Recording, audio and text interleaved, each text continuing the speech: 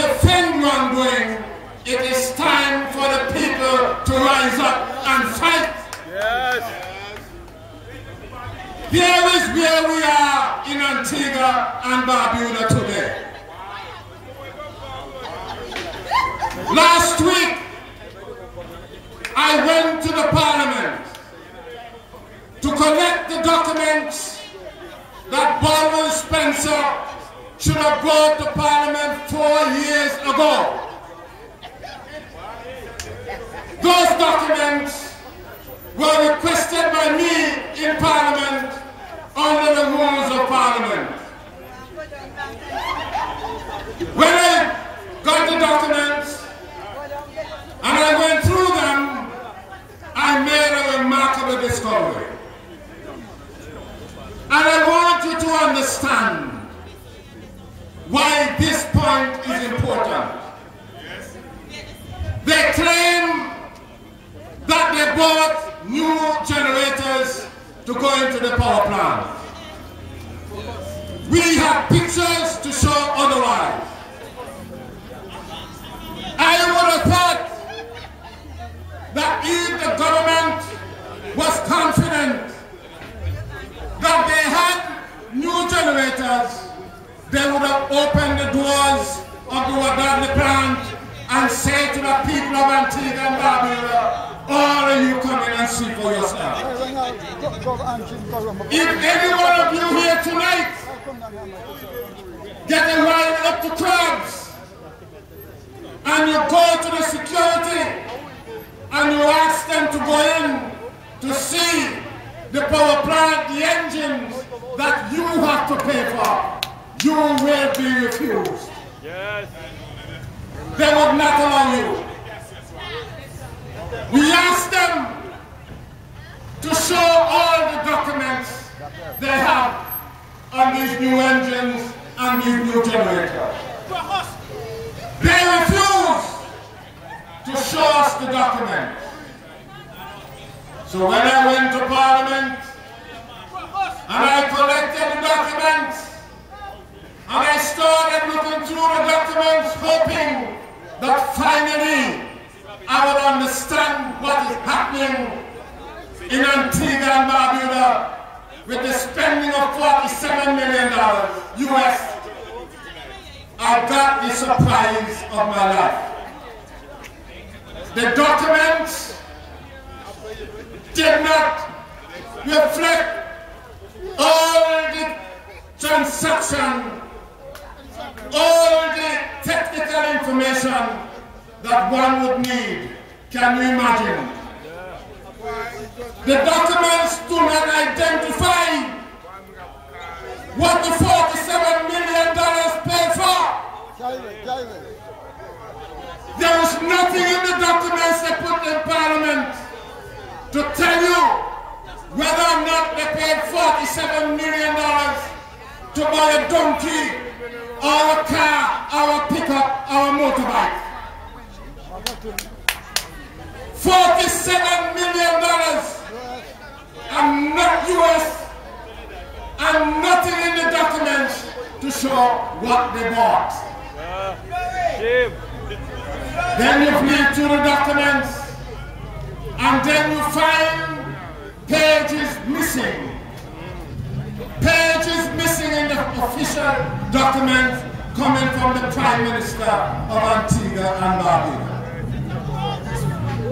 Some of the documents that are supposed to be presented to Parliament have been held back. And I ask myself the question, if this government is saying that they're being truthful to the people of Antigua and Barbuda, why hide the documents from the people? But there, there's a particular document I discovered where Baldwin Spencer lied to the people of Antigua and Barbuda Of course he did.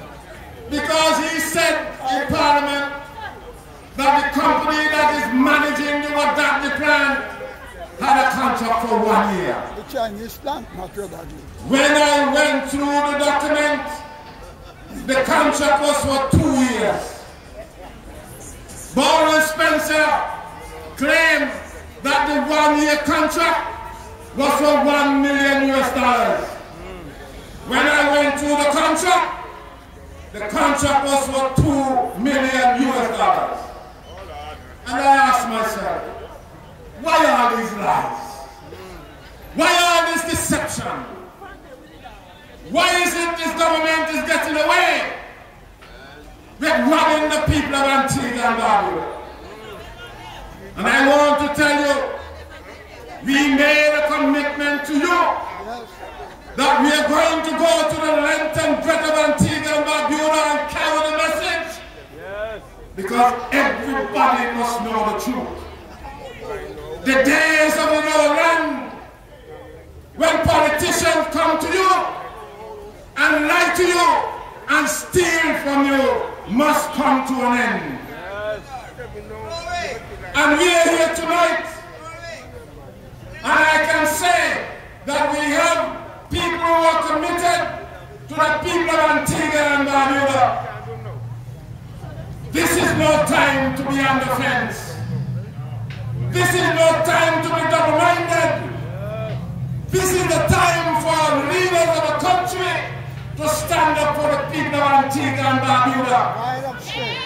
Because as a result of the stealing that is taking place in Antigua and Barbuda, people can't even put food on their table.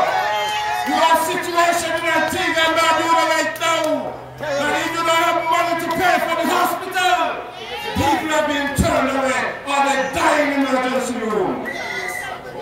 I am standing here tonight when people of social security Hey, man, can't even get know their check I'm saying, man. and Paul and Spencer drinking wine in Florida.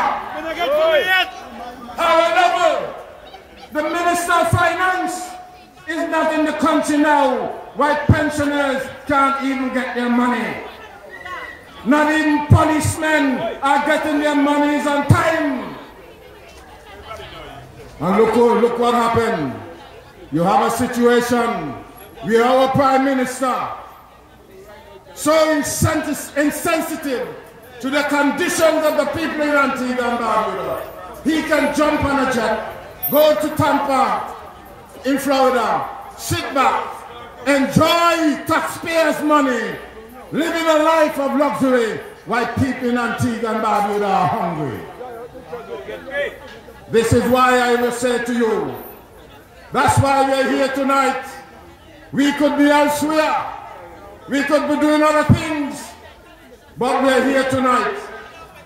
And I want to say without any fear that politicians must stand up to the oath of the office. They come and they ask you to vote for them every election. This is the time you prove who is sincere from who are not sincere. This is the time for men to stand up and notwithstanding what has happened in the past, notwithstanding what happened to Parliament last week, we are here because our first priority is to bring us end to the suffering of Antigua and Barbuda. And the only way you can bring a suffering is if you get rid of the UPP because they have set back every citizen in this country. We are all being leveled down to one class, and that is a struggling class.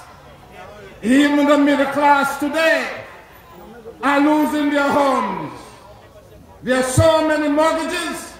People pay for homes 15 and 20 years, lose their jobs, and then they have to brush out their bottom, leave their hard-earned property, and go elsewhere to start over again.